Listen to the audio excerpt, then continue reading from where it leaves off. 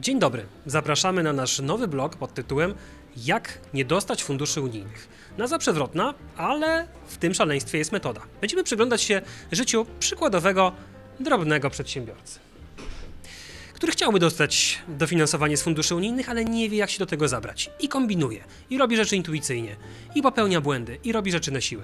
Tymczasem z funduszami to trzeba delikatnie i z głową.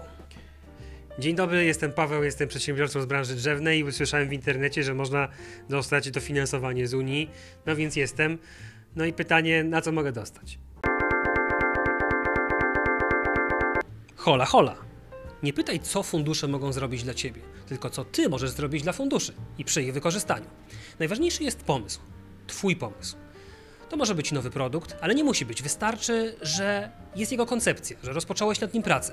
Najważniejsze, żeby pomysł pochodził od ciebie, bo to ty najlepiej znasz swoją firmę.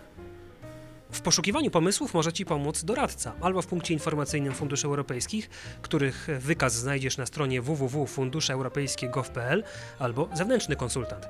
Ale zasadniczo i tak wszystko oprze się o Twoje pomysły.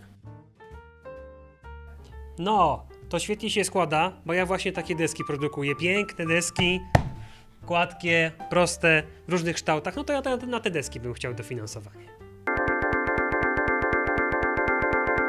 Nie, nie, nie. To nie przejdzie. Nie możesz dostać dofinansowania na coś, co już istnieje. Tak jak mówiłem, najważniejszy jest pomysł, coś nowego. Innowacyjny produkt, jakieś eksperymentalne badania. Deska w porządku, ale musi być jakaś super deska. Elastyczna, wytrzymała, odporna na ogień. No jakaś. Warto sobie może na początek przejrzeć, na co tak właściwie dają pieniądze.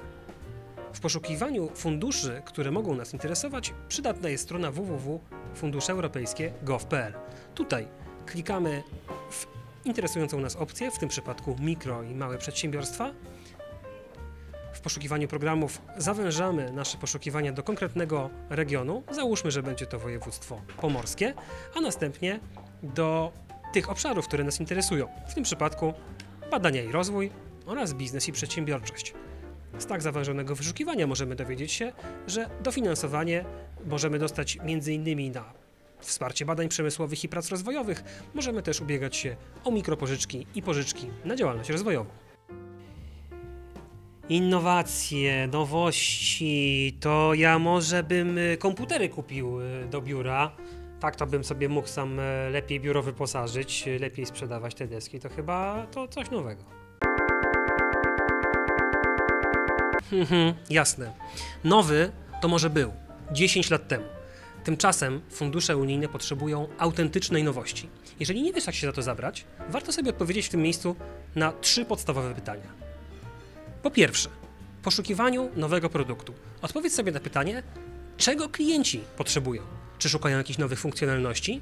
Czy potrzebny im jest nowy produkt? Po drugie, czy ty sam zastanawiałeś się nad wprowadzeniem jakiejś innowacji czy jakiejś nowości? Jeżeli tak, warto iść w tym kierunku i spróbować uzyskać e, dofinansowanie właśnie na tę działalność.